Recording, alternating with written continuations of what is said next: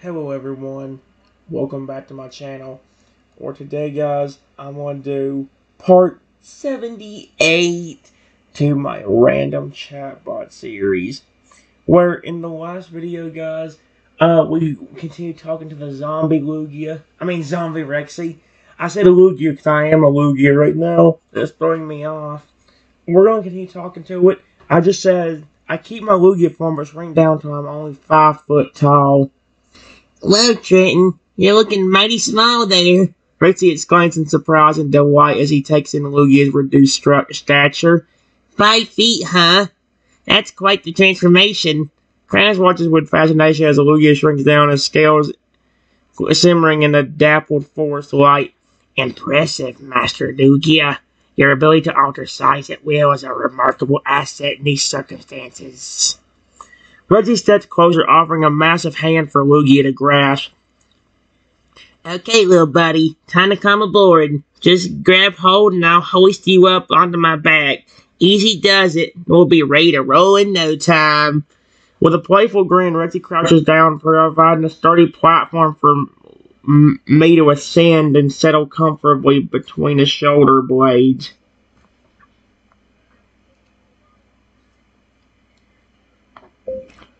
Thank you, Rexy! Exclamation point.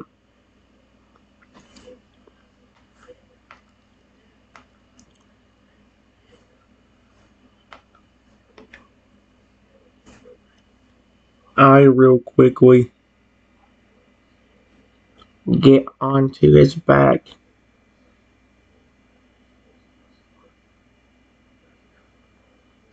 And get comfortable.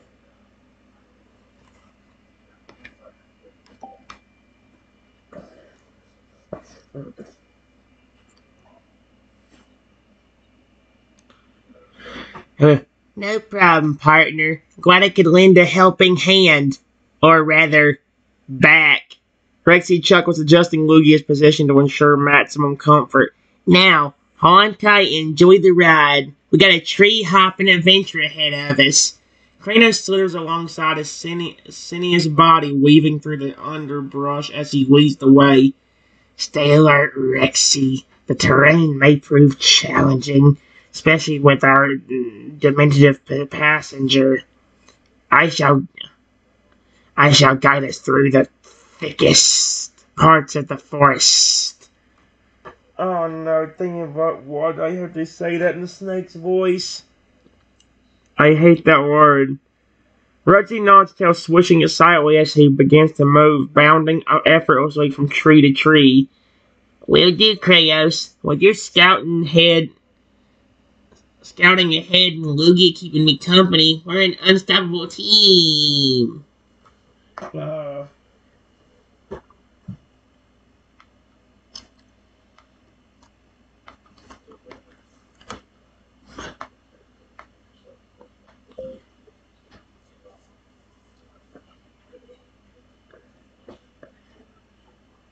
after about 10 minutes, we get through the forest.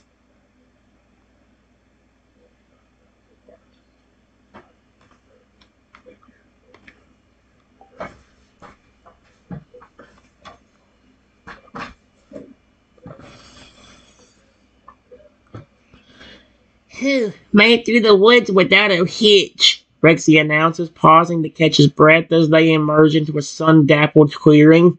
Thanks for the navigation skills, Kranos. You're a lifesaver. Or at least, a tree preserver. Kranos calls around a nearby trunk, surveying the surroundings with keen eyes. The forest has given way to a more open area, Rexy. Our quarry, Trico, may be more visible here. However, we must remain cautious. He could still be hiding in plain sight or preparing an ambush. Reggie scans the horizon, his gaze sharp and alert. Understood, Kranos. Lugia, keep those bird eyes peeled for any sign of Trico. He shows uh, if he shows uh, shows up, let us know immediately so we can react accordingly.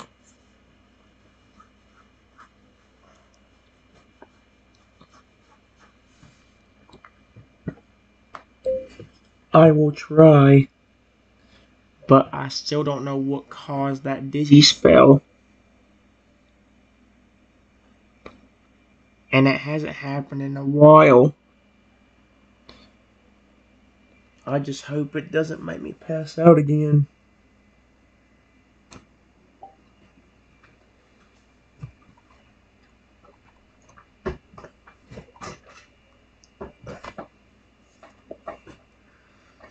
Hey, don't worry about it too much, Trenton. We're all mm, rooting for you to stay strong and healthy. Fritzy reassures giving Lugia a tiny hand a gentle, uh, Lugia's tiny hand a gentle squeeze. You start feeling even remotely dizzy or lightheaded again, just let us know right away. We'll find a safe spot to rest until you're feeling better. Crow's forked tongue flicks out, tasting the air as he senses the landscape. I detect no immediate threats, but caution remains adversible. Perhaps we should press onward to confront Trico before his motivations cause further complications. Rosie nods in agreement, his determination evident. Kranos is right. Let's push on and settle this with Trico.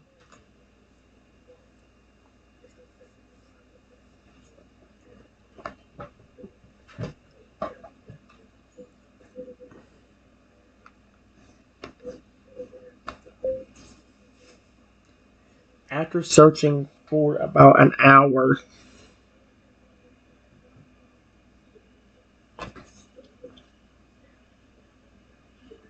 we see Trico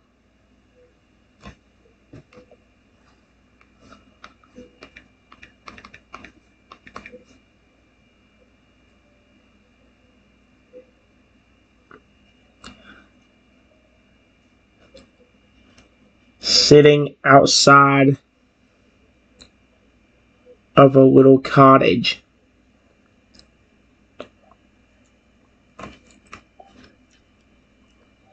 I don't know if that's a good or bad thing. That could be terrible. There he is, folks. Trico, the mastermind behind this whole mess. Rexy declares, pointing a quad finger at the unsuspecting Pokemon. Looks like he's taking up residence in that cozy little cottage. Time to have a chat with him, whether he likes it or not. Crash stares forward his presence a commanding respect as he approaches the cottage. Master Lugia, perhaps it would be wise to enter cautiously, prepared for any eventuality. We cannot underestimate Trico's cunning nor the potential dangers within. Reggie nods posture tense yet resolute. Agreed. Lugia, stick close to me and be ready to defend yourself if needed. Kranos, you take point and scout inside first. Once you cleared the way, we'll follow suit. There is one problem with your plan. For some reason, being close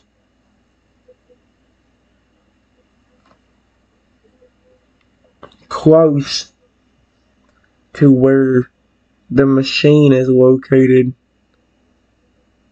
is apparently having an effect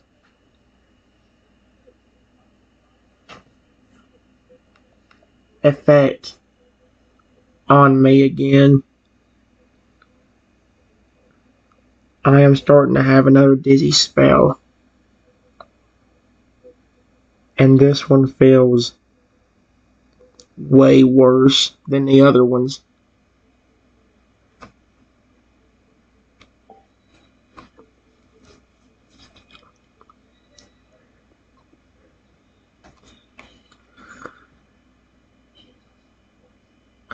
Oh no, Trenton, not again, please. Reggie is going to an alarm, concern edge across his face as he sees my condition, con- disorienting. Kranos, we need to get him inside and stable right away. This can't happen near the machine. Kranos overcalls around Lugia, supporting his weight as the dizzy spell intensifies. Fear not, Mr. Lugia. I shall carry you safely into the cottage, where we can assess and address the distress. Reggie watches anxiously as Kranos carefully transports Lugia inside the entrance. Hang in, hang in there, little guy. We almost got you to safety. Just focus on breathing and staying with us, okay? Once inside, Rexy helps ease Lugia onto a soft cushion, his expression a mix of worry and resolve.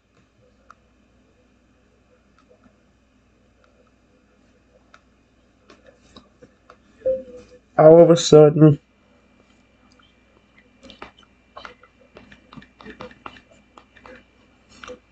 comes into the cottage and says, Hey, what are you doing inside my house?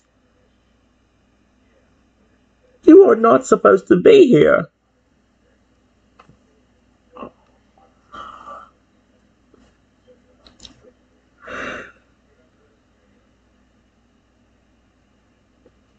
Trico, you deceitful scoundrel! We're here to put a stop to your nefarious plans once and for all. Rexy growls, stepping forward to confront the startled Trico. Your house is a den of evil where you conduct twisted devices concoct twisted devices to manipulate and control others. Well, that ends today. Return Lugia to normal and dismantle your mind-controlling machinery, or face the consequences. Kranz positions himself protectively beside Rexy, his, eye, his eyes glowing ominously as he regards Trico. You have overstepped your boundaries, Trico. Your actions will not go unpunished. Surrender now, and we might show mercy. Resist, and you shall face the full force of our wrath.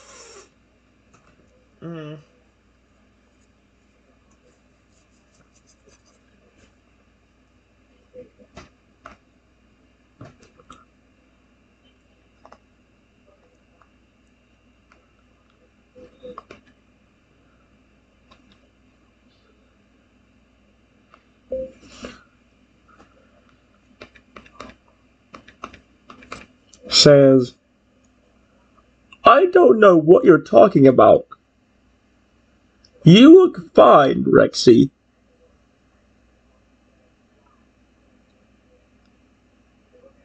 The only weird thing I see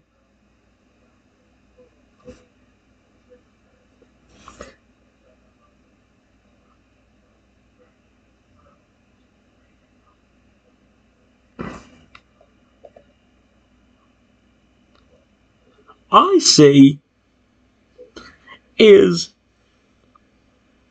a tiny Lugia sitting on my couch.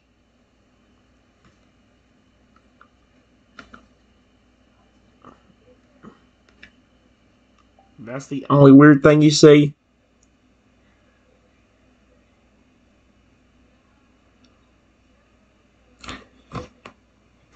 Don't play dumb with us, Trico. We know all about your zombie making machine and how it turned me into, well, whatever this is.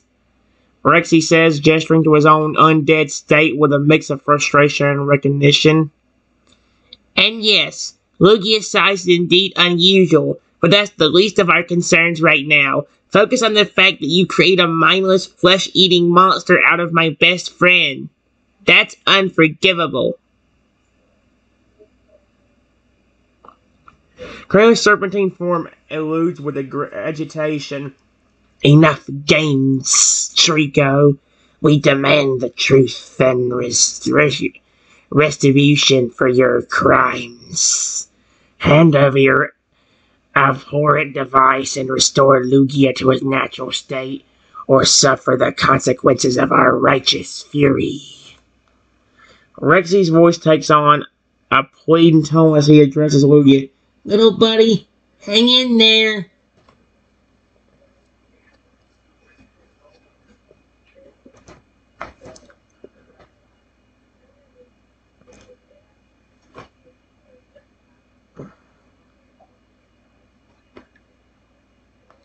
The Pokemon says, Why would I do that?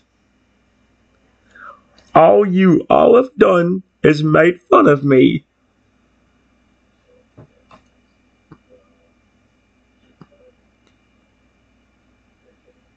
especially your friend there. If he isn't that Lugia.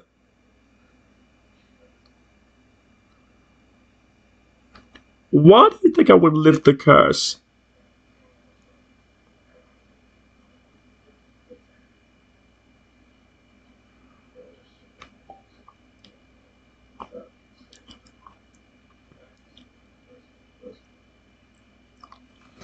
Oh my. Oh my gosh. Curse? Curse? You call turning innocent creatures into a monsters a curse? Rexy exclaims, his voice rising in indignation. You're the one who unleashed this hor- horror upon us, Trico, and now you expect us to simply forgive and forget? Crash forked tongue darts out, tasting the air as he considers Trico's words. The Pokemon speaks truth, Trico. What? If your intention was to mock and belittle us, then your scheme has succeeded. However, if you genuinely believe you have cursed us, perhaps there is a glimmer of redemption for you yet. Reggie's gaze softens like a hint of empathy creeping with his undertone features. Tell you what, Trico.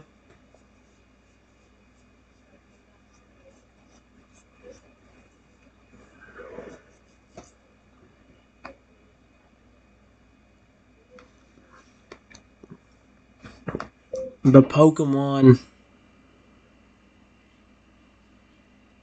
says, What?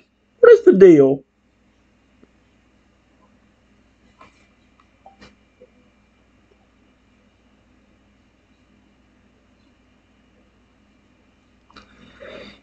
Alright, listen up, Trico. Rexy begins, his tone firm yet measured. We're willing to hear you out, but any attempts at deception or manipulation will be met with swift retribution. So, cut the crap and give us a straight answer. What exactly did you hope to achieve with your zombie making machine? Crans's eyes narrow, his body cooled and ready to strike at Trico if Trico tries anything underhanded. Be honest. Be honest, Trico.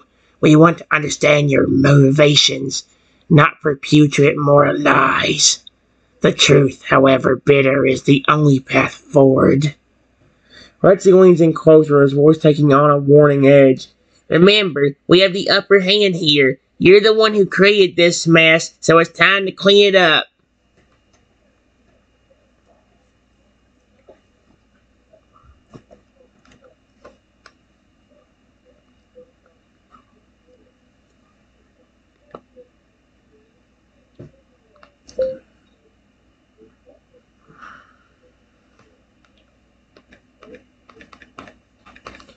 Tries to manipulate Rexy and the snake by saying, Do you really believe I did this for no reason?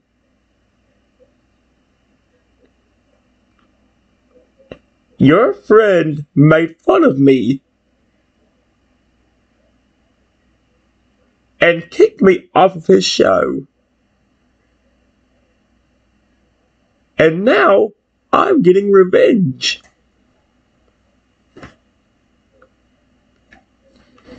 Don't you dare fall for that. Oh my gosh. I, I was under hypnosis for that one. Revenge! Rexy scoffs, his undead face twisting in disgust. Using mind control technology to turn friends into mindless zombies is your idea of revenge? You've crossed the line, Trico, and there's no going back from this. Kenz's body language remains tense, his forked tongue flicking out to taste the air as he processes Trico's words. While it's true that Rexy may have underintentionally hurt your feelings, uh, resorting to such extreme measures is utterly unjustifiable. You've betrayed the trust of those you claim to care about, and for what? A misguided sense of vengeance. Rexy's voice takes on metallic tone as he reflects on their friendship. I remember when we were just two Pokemon hang what? When we were just two Pokemon hanging out, sharing laughs and adventures.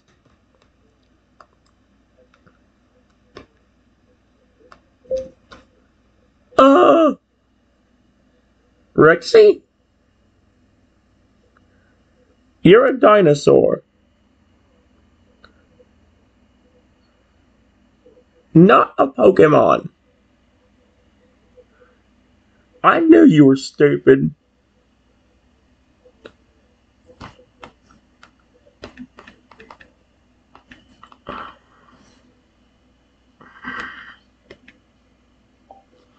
Oh my gosh.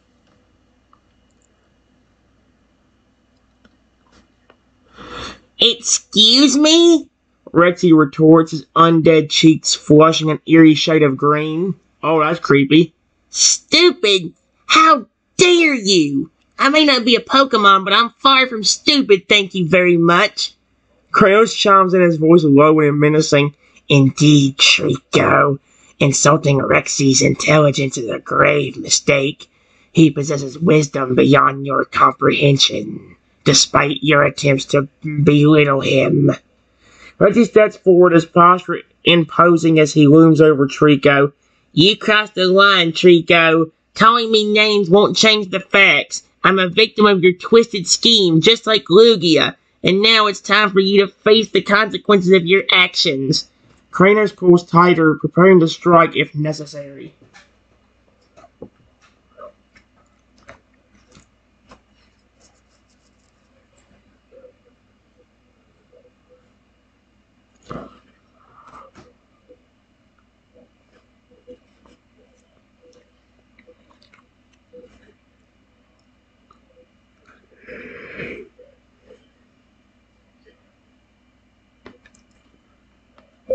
Will you leave me alone? This is not fair. Two against one. It would be three. If your friend wasn't passed out.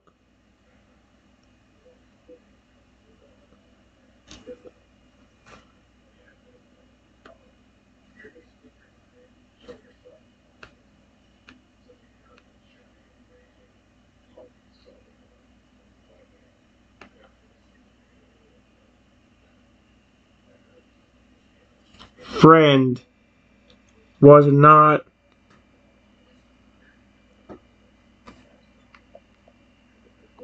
was not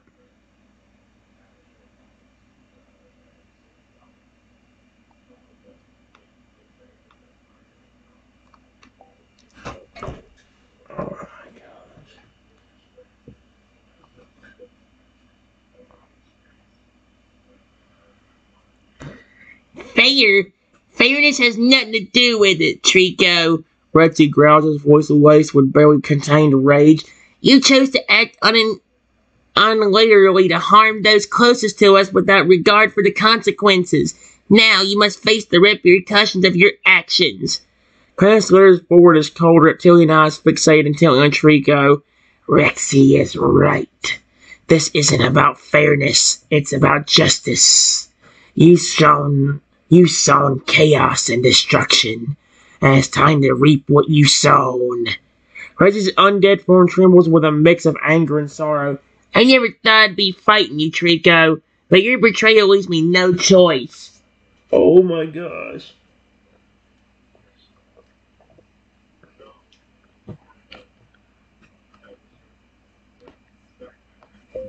Do you want me to show you how unafraid I am of you?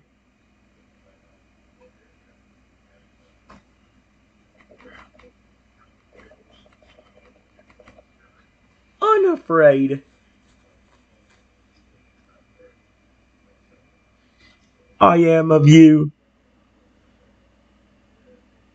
Question mark. Trenton is stupid. And him being that tiny Lugia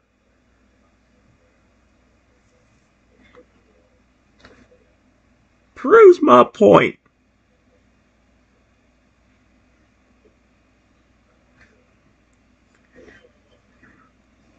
He could have been a big, giant, majestic looking one. And instead, he's tiny and useless.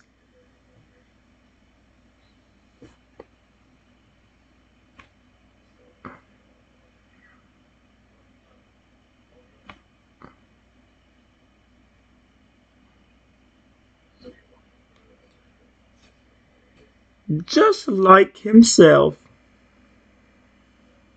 Oh my gosh, did he really just insult me when Rexy's already hissed? That is the worst time they use the word hissed when there's literally a snake in the room with me. And my brain's instinctively going, snake, or hissed. Dragging out the words. I'll be back.